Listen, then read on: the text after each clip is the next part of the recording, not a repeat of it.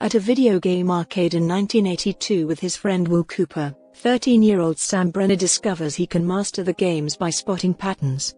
Participating in a video game championship, he loses in a match with obnoxious arcade player Eddie the Fire Blaster Plant in Donkey Kong. A video cassette with footage of the event is included in a time capsule that is launched into space.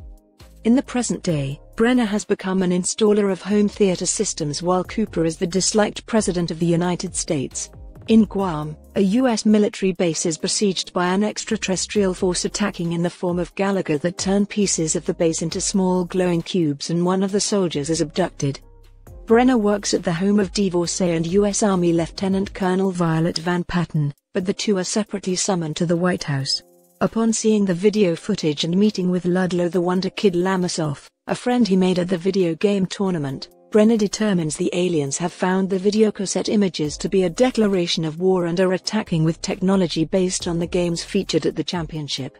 This is affirmed when the aliens interrupt a television broadcast using footage from the cassette, challenging Earth to a battle where if the aliens win three rounds, they will conquer Earth. Brenner and Cooper are unable to stop one of the attacks as Arkanoid paddles sling balls of light to destroy the Taj Mahal, and a bystander is abducted.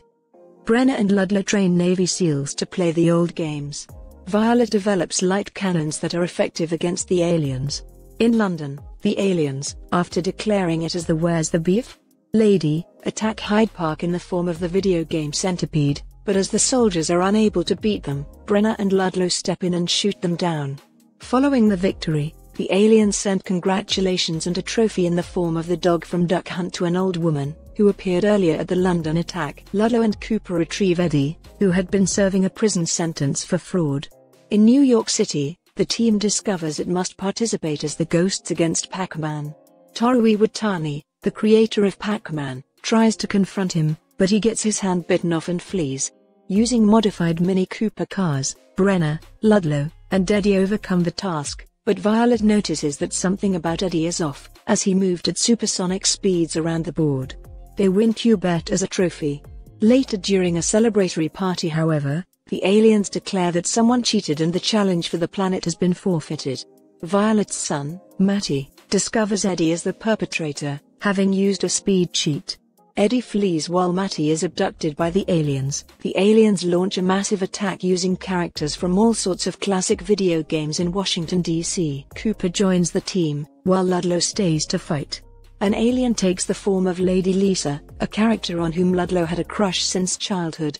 Ludlow persuades Lady Lisa to choose love, and she sides with the humans. Eddie, wishing to make amends, returns to fight as well. Brenner, Violet, and Cooper are summoned to the aliens' mothership where they face the alien leader who takes the form of Donkey Kong on the game's starting level with the aliens' captives at the top.